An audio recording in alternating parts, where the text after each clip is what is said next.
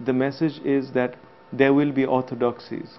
There will be orthodoxies which also come, impose themselves uh, from outside on the literary, which are not completely literary in themselves. That means we might start studying lit literature because it is important to the nation. That's just one example, and it's a very simplified e example.